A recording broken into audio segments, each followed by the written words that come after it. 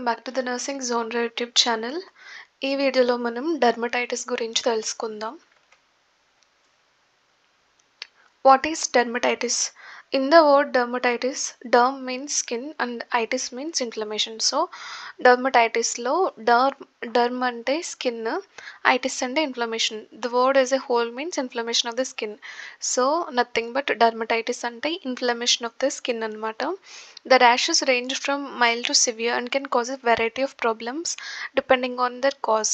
Based on the cause, ఈ rashes అనేవి mild to severe ఉంటాయి అన్నమాట that's about the dermatitis introduction next one definition dermatitis is the inflammation of the skin typically characterized by itchiness redness and rash so dermatitis అంటే స్కిన్కి inflammation వస్తే కనుక దాన్ని మనం డర్మటైటిస్ అని పిలుస్తాం దీన్ని ఎలా క్యారెక్టరైజ్ చేయగలమంటే ఇచ్చినెస్ దురద ఉంటుంది రెడ్నెస్ రెడ్గా ఉంటుంది. అలాగే ఒక ర్యాష్ని కూడా మనం చూడగలుగుతాం.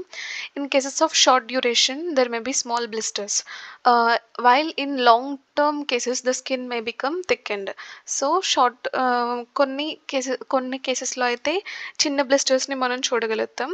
Uh, కొన్ని లాంగ్ టర్మ్ కేసెస్లో అయితే కనుక స్కిన్ కూడా థిక్గా అయిపోవడం థిక్కిపోయి థిక్గా uh, అయిపోయిన బ్లిస్టర్స్ని ర్యాషెస్ని మనం చూడగలుగుతాం అనమాట next one the area of skin involved can vary from small to covering the entire body so ఈ డర్మటైటిస్ అనేది కొంచెం చిన్నగా స్టార్ట్ అయ్యి ఎంటైర్ బాడీని కూడా కవర్ చేయగల చేయగలదు అనమాట dermatitis is the often called eczema దీన్ని మనం ఎగ్జీమా అని కూడా పిలుస్తూ ఉంటారు. Next one causes the cause of dermatitis is unknown but is presumed to be an combination of genetic and environmental factors so the exact cause అనేది డర్మటైటిస్కి తెలియదు. కానీ ఇక్కడ కొన్ని హెడ్డింగ్స్ మనం చూసినట్లయితే first one environmental the hypothesis states that exposure to bacteria and other immune system modulators is important during development and missing out in on this exposure increase the risk of for asthma and allergies so environment కొన్నిసార్లు పిల్లలు developmental పీరియడ్లో growth పీరియడ్లో ఉన్నప్పుడు bacteria కానీ other immune system మోడ్యులేటర్స్ కానీ expose అవ్వడం nothing but కొన్ని కొన్ని అలర్జీస్కి కానీ కొన్ని ఎలర్జెన్స్కి కానీ ఎక్స్పోజ్ అవ్వడం మంచిదంట. ఎందుకంటే ఇలా అవ్వడం ద్వారా మన ఇమ్యూన్ సిస్టమ్ కూడా బాగుంటుంది ఒకవేళ and missing out on this exposure increases the risk for asthma and allergy so ఎప్పుడైతే ఎక్స్పోజర్కి మనం మిస్ అవుతామో దానివల్ల ఆస్తమా అండ్ ఎలర్జీ వచ్చే ఛాన్సెస్ ఎక్కువ ఉన్నాయన్నమాట. Allergies nothing but skin diseases కానీ ఇంకేమైనా ఇమ్యూన్ సంబంధించిన వ్యాధులు కానీ రావడానికి ఎక్కువ ఛాన్సెస్ ఉన్నాయి. Next one malnutrition essential fatty acids deficiency result in dermatitis similar to that seen in zinc or biotin deficiency so fatty acids లోపం వల్ల కూడా ఈ డెర్మటైటిస్ చూడగలుగుతాం. Genetic genome wide studies found that three news genetic variants associated with eczema include so ఇక్కడ మనకి ఇక్కడ కనిపిస్తున్న ఈ త్రీ వేరియంట్స్ కూడా డర్మటైటిస్కి కారణం అవ అవ్వచ్చు అని చెప్తున్నారు according to genome wide studies these are the causes next one risk factors risk factors for dermatitis factors that increase your chances of getting dermatitis include age. Based on your age mm, the environment మీ చుట్టూ ఉన్న environment family history ప్రీవియస్గా మీ ఫ్యామిలీలో ఎవరికైనా ఉంటే మీకు మీకు కూడా వచ్చే ఛాన్స్ ఉంది. health conditions, allergies, asthma. Some factors increase your risk of certain types of dermatitis more than others. For example, frequent washing or and drying of hands may increase your chances of developing contact dermatitis. So ఎక్కువ hands wash చేసుకున్న ఎక్కువ hands wash చేసుకున్న తర్వాత dry ఎక్కువ dry చేసుకున్న హ్యాండ్స్ని కూడా లేదంటే ఏదైనా బాడీ పార్ట్ని సో కాంటాక్ట్ డర్మటైటిస్ వచ్చే ఛాన్సెస్ కూడా ఎక్కువ ఉన్నాయి. ఇది ఇది it is one of the type అనమాట this are the risk factors then types of dermatitis so first one contact dermatitis contact dermatitis occurs when you come in direct contact with an irritant or allergen so మీరు డైరెక్ట్గా ఏదైనా allergen కానీ ఏదైనా irritant కానీ మీరు కాంటాక్ట్లో nothing but మీరు ఏదైనా టచ్ చేస్తే మీకు అది హత్తుకుని ఉండే కనుక common materials that cause allergic reactions include detergents so ఎక్కువ డిటర్జెంట్స్ యూస్ చేసిన కాస్మెటిక్స్ యూస్ చేసిన నికెల్ పాయిజన్ అవి and so these are some materials అనమాట వీటితో కనుక మనం ఎక్కువ కాంటాక్ట్లో ఉంటే కాంటాక్ట్ డర్మటైటిస్ వచ్చే ఛాన్సెస్ ఎక్కువ ఉన్నాయి. Second one atopic dermatitis it is often the result of a combination of factors like dry skin environmental setting and bacteria on the skin so atopic dermatitis maximum ఈ ఈ factors యొక్క combination వల్ల వస్తుందంట. First one dry skin పొడి బారిన skin మీ చుట్టూ ఉన్న environmental setting maybe humidity ఎక్కువ ఉన్న అండ్ బ్యాక్టీరియా ఉన్న స్కిన్ మీ స్కిన్ మీద బ్యాక్టీరియా ఉన్నా కూడా ఎటోపిక్ డర్మటైటిస్ వస్తుంది. Next one seborrheic dermatitis. The exact cause of seborrheic dermatitis is unknown. However it may be the result of an reaction to to yeast and and a organism on the skin so the exact cause అనేది తెలియదు కానీ ఇది మలసేజియా yeast produce చేసే inflammatory reaction వల్ల వస్తుంది అని చెప్తున్నారు. Certain conditions can increase your risk of seborrheic dermatitis. This include కొన్ని కండిషన్స్ కూడా ఈ డర్మటైటిస్ రావడానికి కారణమవుతున్నాయంట. This include HIV psoriasis epilepsy rosacea Parkinson's disease. ఈ కండిషన్స్ ఉన్న వాళ్ళకి కూడా సెబోరిక్ డర్మటైటిస్ వచ్చే అవకాశాలు ఎక్కువ ఉన్నాయి. Next one stasis dermatitis. It occurs due to poor circulation in the body ఇక్కడ మనం పిక్చర్లో చూడొచ్చు. పూర్ సర్క్యులేషన్ ఉండడం వల్ల స్టేసిస్ డర్మటైటిస్ డర్మటైటిస్ వస్తుందంట. అండ్ అలాగే సెబోరిక్ డర్మటైటిస్ సో ఇక్కడ స్కేలీగా అయిపోతుంది కదా స్కిన్ సో ఇలా ఉంటే దీన్ని మనం సెబోరిక్ డర్మటైటిస్ కింద గుర్తించవచ్చు అనమాట నెక్స్ట్ వన్ డైపర్ డర్మటైటిస్ ఇక్కడ మనం చూడొచ్చు పిక్చర్లో as the name suggest డర్ diaper dermatitis is when a rash appears on any part of the baby skin covered by diaper so డైపర్తో cover చేయబడిన స్కిన్ మీద ఎటువంటి ర్యాష్ వచ్చినా కూడా the skin gets broken down by wetness movement and waste products so ఎందుకు ఈ diaper dermatitis వస్తుంది అంటే ఈ ఆ డైపర్ వేయడం ద్వారా స్కిన్ ఎక్కువ వెట్ అవ్వడం లేదంటే మూమెంట్ లేదంటే ఆ వేస్ట్ ప్రొడక్ట్స్ వల్ల స్కిన్ అనేది బ్రోకెన్ డౌన్ అయిపోతుంది.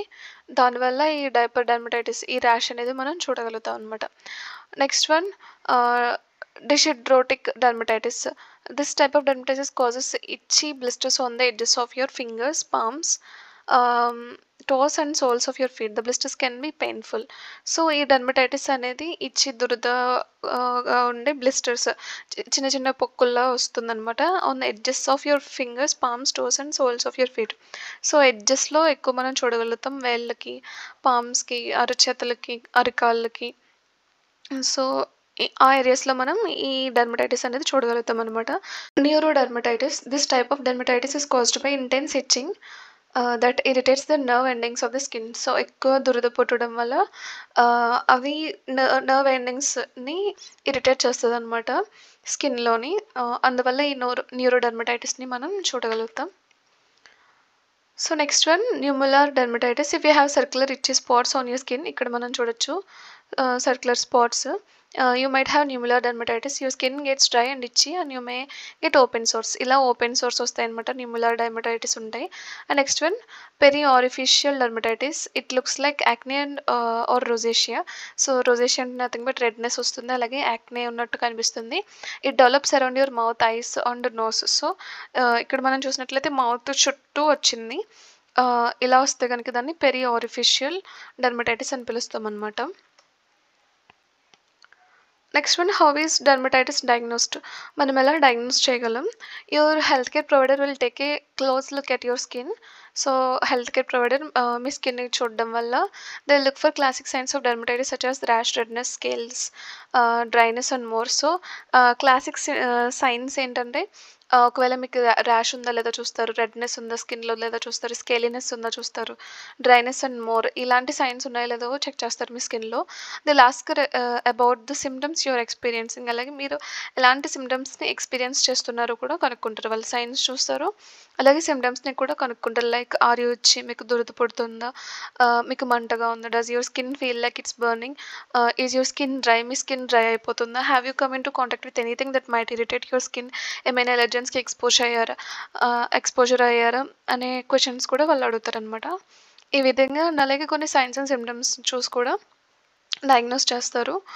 Investigations the following investigations may sometimes be needed so ఎలా డయాగ్నోస్ చేస్తారో తెలుసుకున్నాం కదా signs and symptoms and also కొన్ని tests first one skin scraping to exclude fungal infection mimicking a dermatitis so ఏదైనా fungal infection వల్ల మీకు ఇలాంటి సైన్స్ కం కనబడుస్తున్నాయా అనే దాన్ని బట్టి కూడా చూస్తారు.